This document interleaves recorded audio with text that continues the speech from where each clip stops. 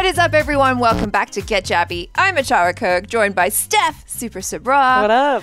Andrew Flash Gordon. How's it going? And we are checking out the classic Guy Ritchie movie, Lock, Stock, and Two Smoking Barrels. I am super excited. Now, full disclosure, I have seen this movie. I've seen this multiple times, but it's been a long time since I've watched it. And these two, for whatever reason, have never seen this movie before. So I am so excited to be watching this with them. If you guys want to watch the entire movie without any cuts or interruptions along with us, you can do that on our Patreon, patreon.com slash jabbykawaii. You can also do that on YouTube memberships right here. So yeah, come join us. There's lots of great content on there. Other classic movies like our reaction to Alien and Aliens. Oh, yeah. Epic. Those were great. Oh, you watched it? I did. You guys Hell were awesome. Yeah. Hell yeah. Thanks for the uh, you know, for the endorsement. So yeah, if you guys want to watch some movies and shows alongside us, then consider joining our Patreon or YouTube memberships. Now, if you're on YouTube, please don't forget to subscribe, click that bell icon, all notifications so you know whenever we drop a new video and upvote this video if you're enjoying what you're watching. All right, let's get into it. and ten pound. Hand stolen in Stepney. It's as long as my arm. I wish it was as long as something else. You'll be crying tears as big as October cabbages. Bacon cousins. Uh-oh. Bacon could see that his days of selling moody goods on street corners are numbered. It's time to move on, and he knows it. That is 900 nicker in any shop you're lucky enough to find one in, and you're complaining about 200. What school of finance did you study? It's sale of the fucking century. In fact, fuck it, Nick, I think I'll keep it. All right, all right. Keep your Allens on. Dang, he's just walking around with Seriously. much cash. The skinny one is Tom, and he's the entrepreneur of the bunch.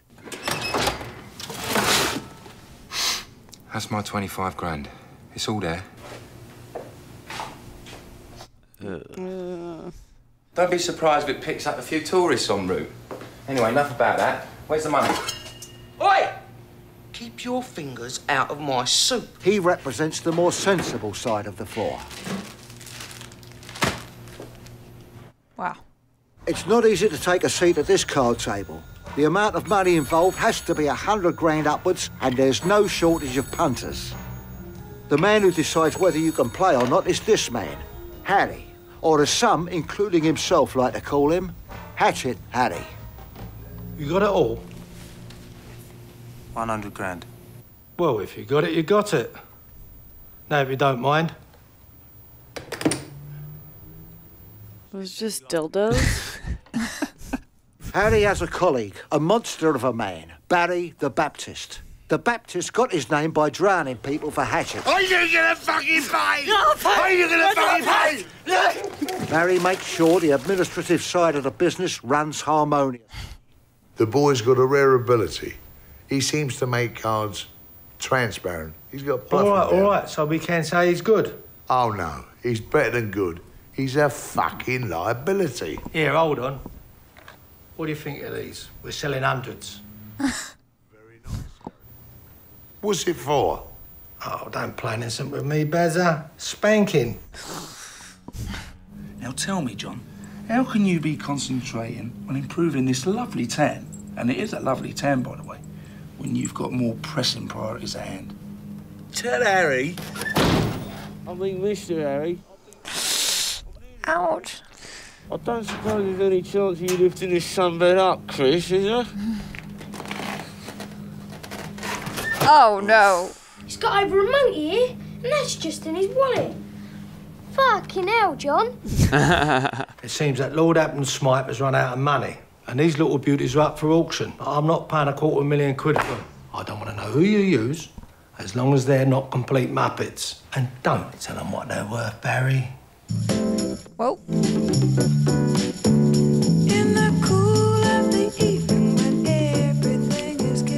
Song was in Ant Man too. Make sure you bring everything from inside the gun cabinet. There'll be a load of old guns. That's all I want. Everything else outside the cabinet, you can keep. It's yours. Oh, thank you very much. Who are we doing this for? You're doing it for me. It's all you need to know. You know because you need to know. I see. Call me when you're done. Shut up. Fucking northern monkeys. Ed has been playing cards since he could lift them up. And he soon discovered that he had a big advantage. It's not that he's good with cards or even good at counting them, especially when it comes to money. Interesting. You must be Eddie, JD's son. You must be Harry. Sorry, didn't know your father. You just might meet him if you carry on like that. Evening, Tanya. Been a while.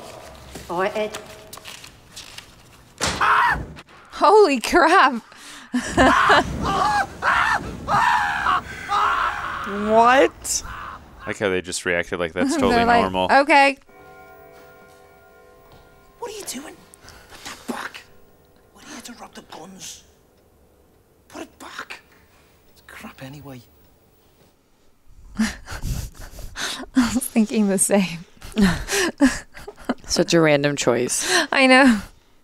Of all the things. They can't even afford new furniture. We've got the guns. What's the matter with you? Every time we do a job, What you have to go burning people's feet. What's wrong with you? Oh shit. Oh, no! You want to be more careful, old fella. You very nearly took my man's head clean off with that. You all right, Kenny? Kenny? Uh oh. Oh, shh. Let's get the Ace Ventura do now. Please. Not now. Oh, you fucking bastard. Uh oh. Oh, my good God. We'll take you to the cleaners.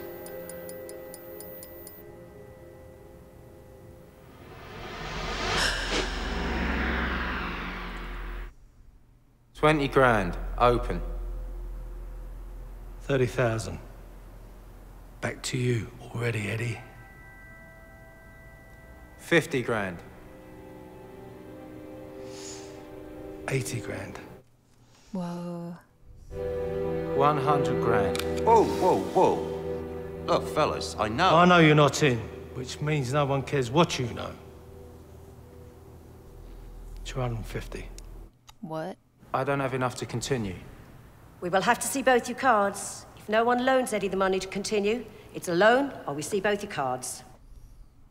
I will loan you the money. No, I think I'd rather just turn them over. I'm not interested in what you would rather. I want to keep going.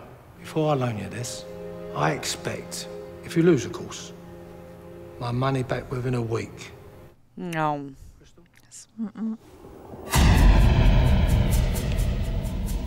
a kind. Mm. Yep. He's got three. Uh, that trumps his sixes, right? I'm I'm no good at poker. I don't know.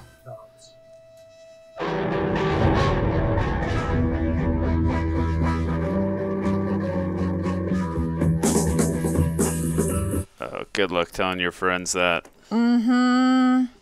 Boy, feeling a bit poorly.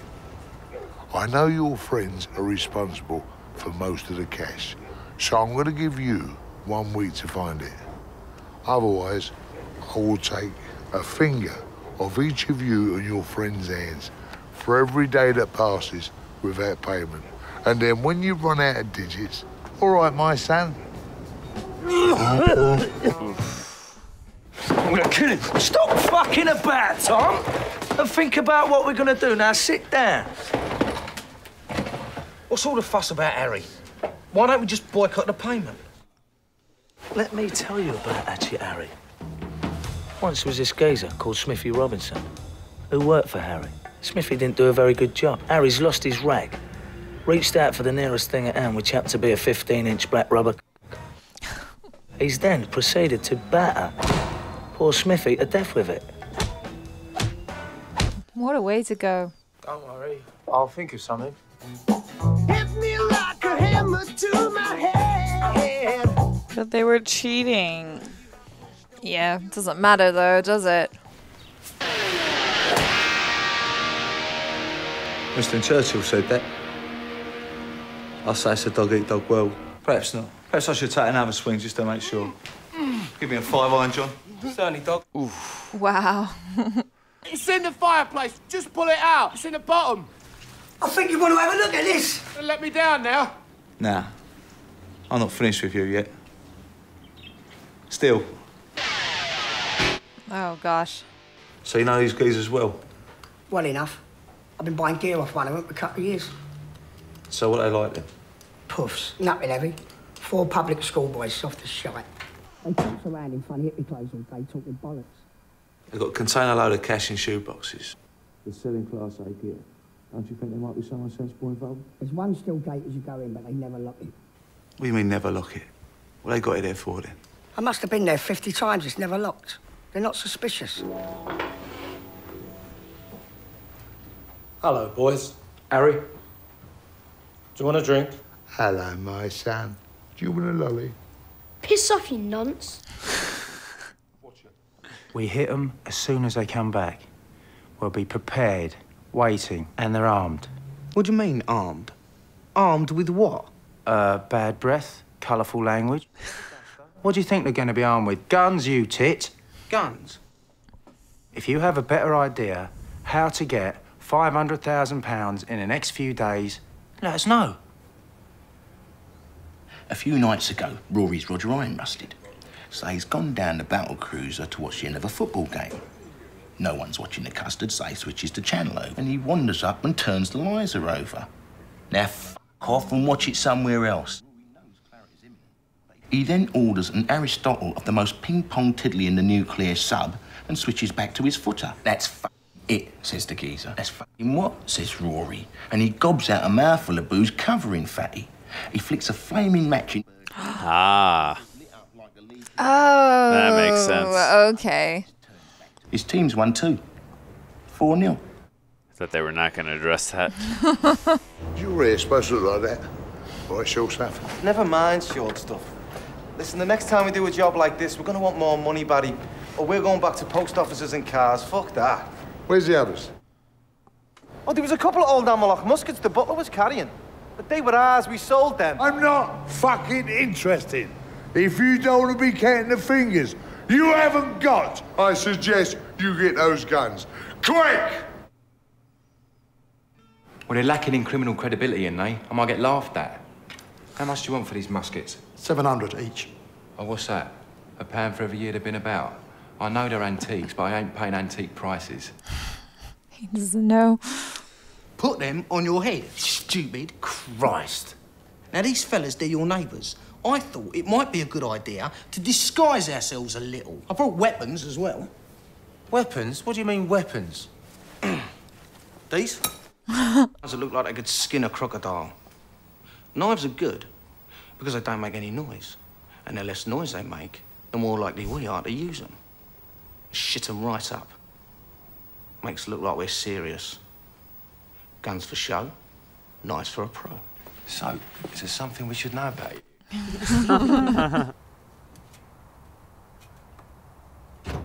Where the fuck are they going? Shift the piano? I thought this was meant to be a robbery. But you and the money are going out the back. If he knows you're here, he'll be all day. Just clear this shit up. Oh gosh. Fuck is he doing? Come on. I can't wait out here all day. All right, just coming. Settle. Oh, is this gonna be the day? This is the day! Got to do business like this now. Can't be too careful these days. I know. Shut it! You say a fucking word, the white ear goes. Another one, then you left. What are you doing, Plank? What do you think I'm doing? Oh, hang on. What are you doing? Unlock the gate. That's it. Go, go, go! Fucking move! Ah. What the fuck's going on? Just hang on, I've got the keys. Sit down and patch yourself up. You tight as a fucking air rifle. Oh, shit. Oh. First, yeah, Oh my god. open the fucking gate as I'm gonna blow his leg off. I'm losing patience. Hurry up, girls. It's all right, all fucking right. And all your friends. Ooh. Stumpy. Open the gate. Oh, he's passed out, but I'm surprised blowing I his toes know. off didn't wake him up. I know. I was thinking the same thing. John, get them tied up. Plank, where's the money? There, in those shoe boxes.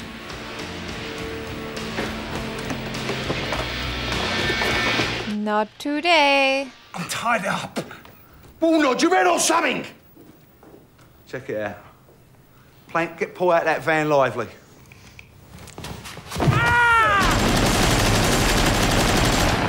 He's a dead man. Well, don't just stand there. You got the bags. Can you fit it all in? I can't get Epping Forest in my van. I don't know who can't. Bollocks to can't. You'll fit it all in if you have to make two trips. You don't mess with that guy. Oh, Oh, wow.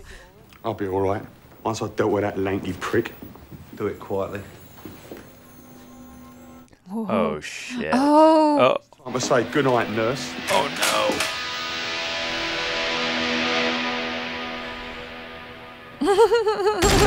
Oh. Damn. You're missing, babe. I was going to say, with that gun, you should not miss from close range. Oh. Oh, damn. Okay. Going to war with what? Have you forgotten those guns, you dozy brat? Everyone's just so inept. Mm-hmm. Shut up and back up! Spin round, big boy. Ooh. Keys. I want keys. Now. Do you think this is fucking hide and seek? That one. Search that one. Even when tied up, he's scary. Yeah. Right. I'll see you in the van when you finish with Ansomir. Oh, why would you do that? Well, we only saw the back of his head, I, guess. I know, but, But still. that's a lot still. Wait till you're in the car. Yeah. Jesus, that wasn't too bad, was it? so stressed. Two cigarettes. I've never seen someone do that. Oh, okay. Oh, No. That makes sense. Sharing. All right. I'll knock you out in a minute. Look, you want to knock him out? You knock him out. I traffic wardens. Don't we all? Yeah, amen. so relatable. You guys. so stupid. I don't think you'll like that. And You said three five a key, and and you know that's a good price. It was yesterday I said three and a half, and now it's today if I'm not mistaken. Yesterday's price is not today's price. Half price. If he wants to get rid of it quick, he'll have to take it. Now look, I've got a race coming up in a minute, so if you'd just be kind enough to. Yeah, get out of the way, Oh, he's into his TV watching. Ooh, again. And when you strip this place, I want every slag this side of Ceylon pulled in and tortured badly. I want to know who's responsible for this. Otherwise, I'm going to hold you responsible. They should have killed him. He's too vicious. no, but the, I agree with you, but they're not murderers. Yeah. They're idiots. That pile takes care of Harry. What's left over? Give me half a chance to count it. What about this gear then, eh? Oh, what? You want to tug on that? No, don't. Can we lock up and get drunk now, please? They did pretty well. They need to pay the money now, though. Yeah. What do you want in the middle? I'll shoot you in the fucking throat if I don't get my ganja back. The one you shot. You're about to get it back. You think this is a coincidence? This white shite steals my tings and thinks that he can sell it back to me.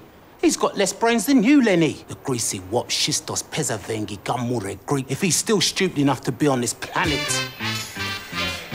Smart.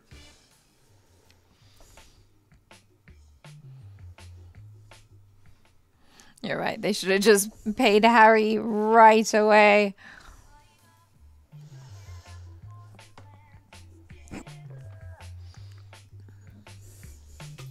He would be so blacked out. uh, Nick's screwed. Mm-hmm. Is this some white joke that black don't get? Because I'm not fucking laughing, Nicholas. Yeah, he's a what a fun actor. If you bend the truth, or I think you're bending the truth, I'll kill you. If you forget anything, I'll kill you. In fact, you're gonna have to work very hard to stay alive. Now, do you understand everything I've said? Because if you don't, I'll kill you. You were lovers next door fucking neighbours! Now get out there and find them! I'm sick of that fucking sight! Get out of my fucking sight! You little shit! Oh, oh no. Shit.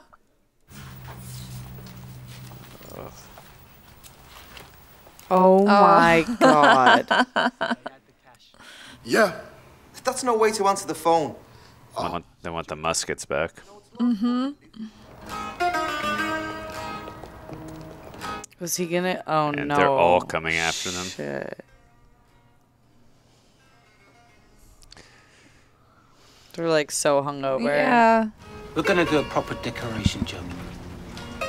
I want the grey skies of London illuminated. Oh my gosh. I want that ass painted red. Maybe they're gonna kill Plank's crew. Yeah. I think they're definitely gonna come first. Now watch out for these fellas. They've got a bit of an arsenal, and they don't mind using it. Now does everyone there know what they've got to do? I love how everyone's bald and tall. Yeah. He's Except got, like, for the main guy. Smallest little gun Yeah. too. Right, wrap them guns up. Count the money. Put your seatbelt on. We've got to get fucking guns or we're dead. They don't even know. Like it's going back to the correct person anyway. Yeah. But everyone's just like shoot first, ask later. Whoa.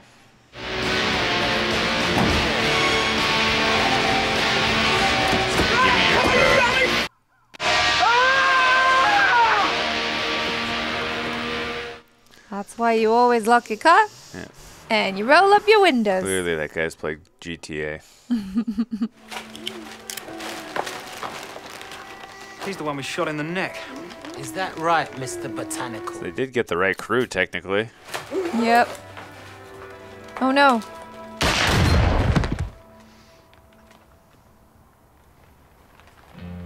Damn. Well, I guess you don't have a boss anymore. Looks like it, but who knows? Everybody the opportunity owes was there. In my experience, No, but he you're thinks- supposed to take that opportunity if it's there. Good No, because he went to his apartment. It's like now paid, right? No, I think it was the other guys that he was because he saw that guy carrying the money and, and that guy. This is dangerous shit, Dean. We don't even know who lives there. Listen, I don't care who lives there. All I know is that it's preferable to death by hatchets. Fair enough. Let's go.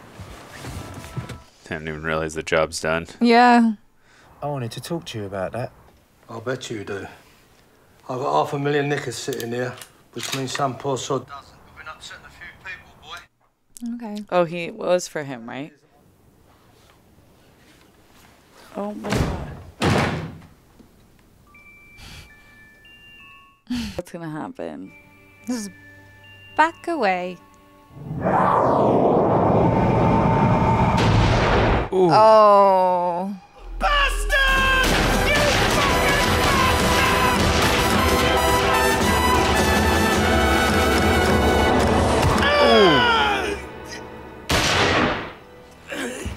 Gibson tomahawked him. fuck are you doing here? What the f are you doing here?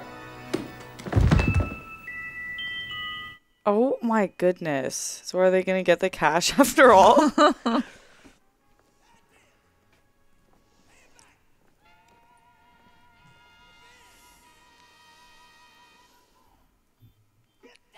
They just keep walking into corpses.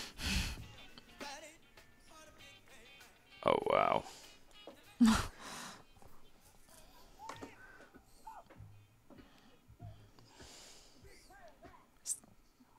Take it and run.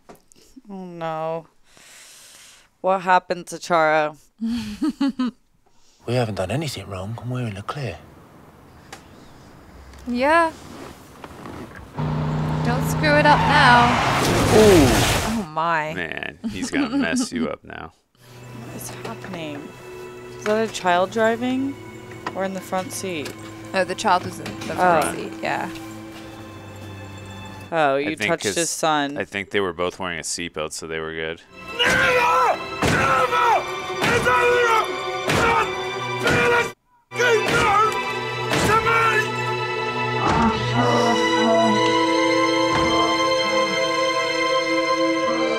Yikes.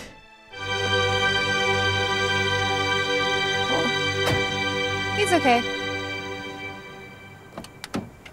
Oh mate? no. Cheeky bastard. Of all the cars to hit. Now, this was an embarrassing position for Tom to be in, but Chris had to respect the fact that he was holding what appeared to be a pair of loaded shotguns. And Tom had to respect the fact that they were not loaded. So, without anybody losing too much face, and everybody else got arrested. I've got him sitting in the car. I, I was going to sell him back to Nick the Greek, but I'm having a bit of trouble getting hold of him. The only thing connecting us with the case. You really think it's worth taking the risk for £700? Tom, you're a dick. Now you take those guns and you throw them off a bridge. And throw yourself off while you're at it. now. Look, all Now, Tom. It seemed that you underestimated you. I think the word you're looking for, gentlemen, is thank you. But you better be waving a white flag, high and clear, so as I can see it, or it'll be the last little visit you ever make. You understand? Yeah, I wouldn't mess with him.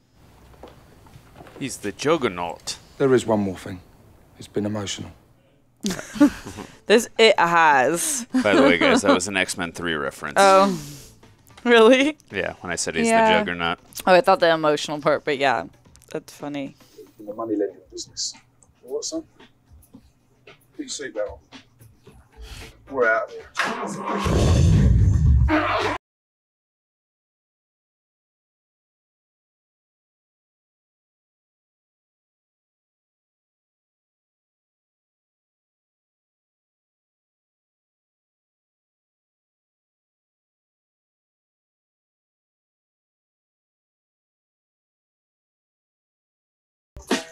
To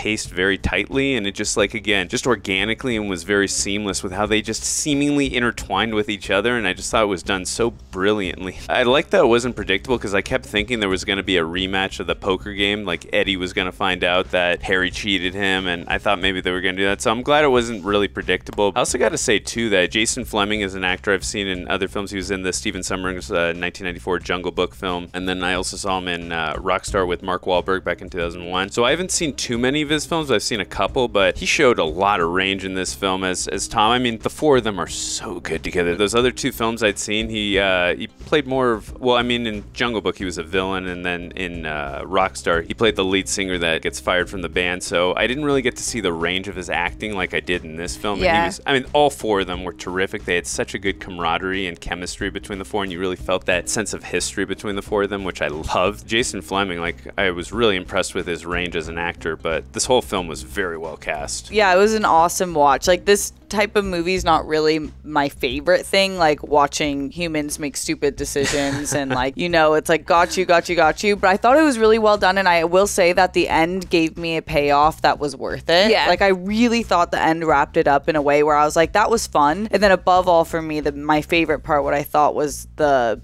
most skilled part was the dialogue. It's like Yeah. Oh, yeah. for the actors to take that on and then for it to be written in that way is such an accomplishment. Like it's so much banter, which is what I like about British television and film. It's like a unique speed of banter Yeah. that American film is just not like. And I love that. Like the jokes were genuinely funny and like the situation was funny and stupid but very serious. Yeah. So I like that dichotomy of the emotion. It was emotional. Like what Yeah. he said at the end. Yeah. It was emotions. To me, this is like prime Guy Ritchie. This Yeah. is the Guy Ritchie that I really enjoy, and and we'll watch Snatch next. And I, Yeah. and I feel like that is like this, but like up. The ante is higher. Like they up the ante with that, you know? But my favorite thing is, I think, kind of what you touched upon is just there's so many characters. Yeah. But they all feel completely different. You Mhm. know exactly who everyone is, what they want. Like maybe it's not very deep, and that's fine. Everyone is really interesting. Like, Yeah, um, I don't think it needs to be. I agree. Yeah, like it, it- didn't need to be deep because I don't think their lives were very deep. Like this was their a day in the life. Yeah, Yeah. and it, it was cool. Like Rory was interesting. Oh, I um, loved Rory. Harry the Hatchet. Like you know exactly who they are, and you don't get confused. And so I, I really enjoyed that. Yeah, once we saw all the characters, I'm like, oh my goodness, how are we gonna follow all these characters, follow all these storylines going on? But as the film like progressed, I was like, no, this is really easy to follow along, and you know, again, these storylines just intertwine very seamlessly together, and I thought it was done really well. And also the actor that plays Harry, I, I believe he was in the film Jaws 3, 1983. He was uh, Fitzroy's uh, companion. Because I was thinking, where do I recognize that guy? But I also gotta say too, freaking Vinnie Jones, he as Big Chris, he was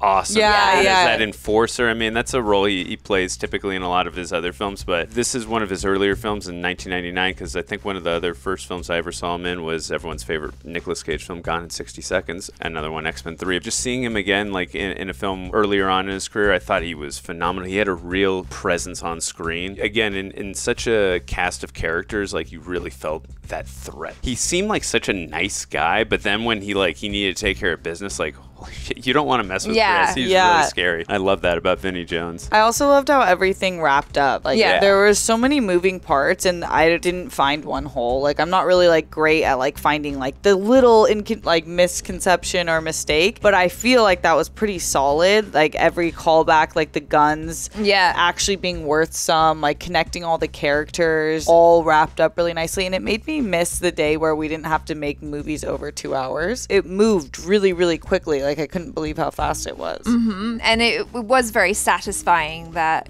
everything that they showed had a payoff. Mm-hmm. And, and so yeah, that was that was really good. And I've only seen a few Guy Ritchie films. I've seen the first Sherlock Holmes film. I've seen Aladdin, not the original, obviously the Guy Ritchie one. I think this is definitely my favorite Guy Ritchie film. I mean, he directed the hell out of this movie. I loved all the performances. There was not a single weak performance, and Yeah. you could just see that Guy Ritchie just really like. I mean, old school young Guy Guy Ritchie just really knew what he was doing behind the scenes, and I love too the cinematography in this Yeah. film. There's so many different interesting shots throughout the film that I was like, these are such appropriate choices for what the scene is and the context of the scene. So It was in like sepia too. I feel like right. It was or like more was- warm tones. Yeah, it was kind of yellowy.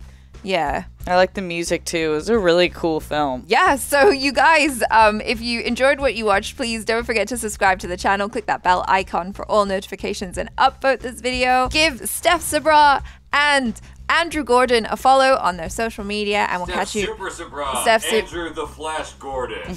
Yes. Jabby's been here the entire time. Yes, he's in here just hanging out in the background. But yeah, we'll catch you next time. I'm Achara Cook. This is Steph Sabra and Andrew Flash Gordon. Ciao.